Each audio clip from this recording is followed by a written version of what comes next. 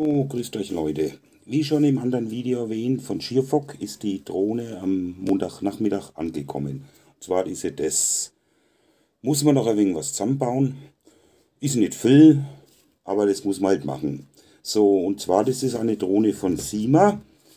Hätte normalerweise 87 Euro gekostet.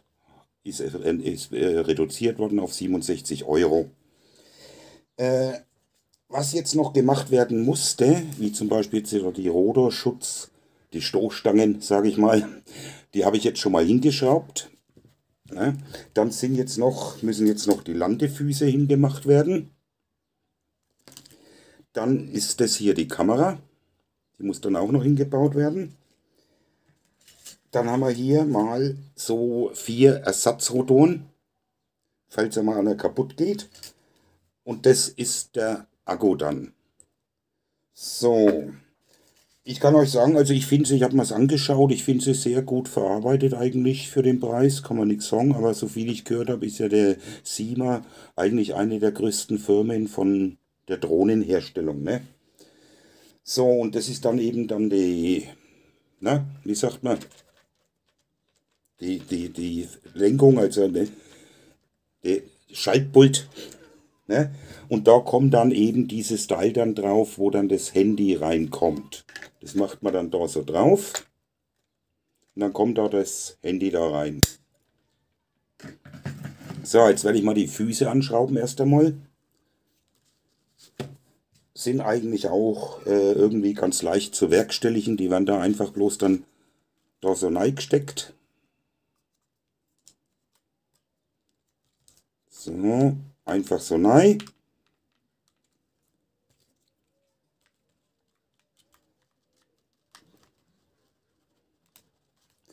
Ja, so einfach geht es gar nicht. Die gehen recht stramm rein. Aber gut, ist ja gut so.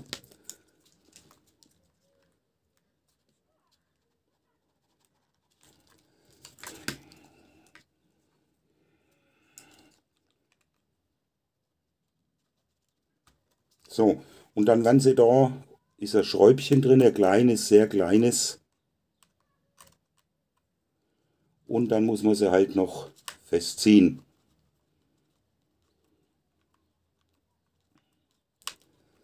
So. So, sagen wir mal, ich habe sie alle festgezogen, ich ziehe sie dann hinterher nach. Ne?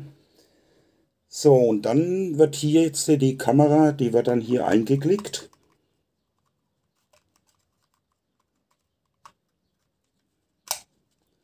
Und dann muss man sie noch verbinden mit dem Strom.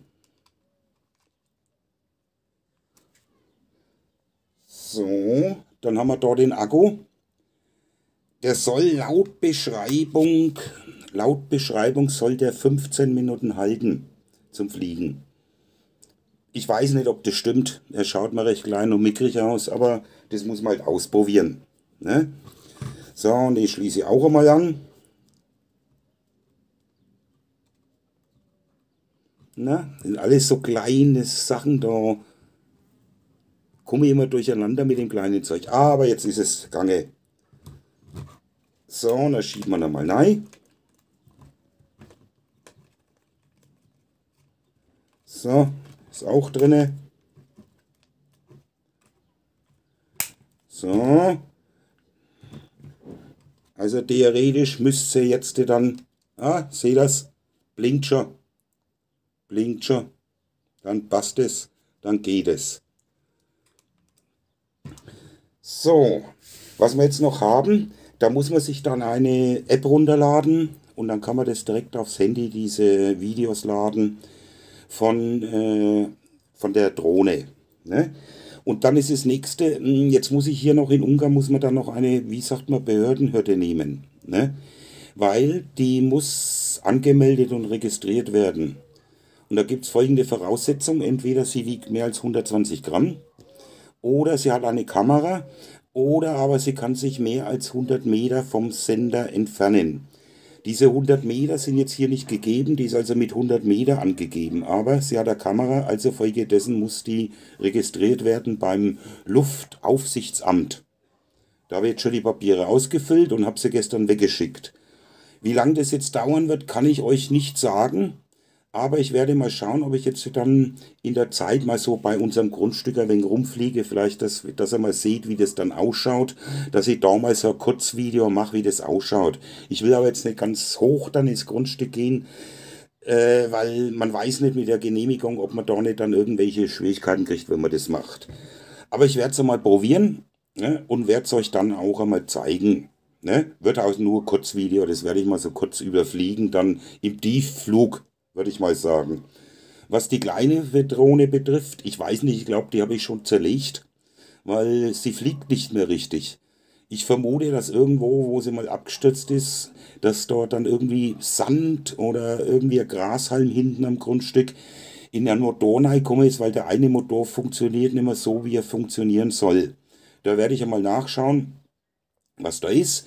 Und da werde ich euch dann auch Bescheid geben, ob es der Doll geliefert hat oder ob sie noch geht. Ne? Dann bedanke ich mich fürs Zuschauen, wünsche euch alles Gute noch, schönen Abend und wir sehen uns beim nächsten Mal, beim nächsten Video. Dankeschön.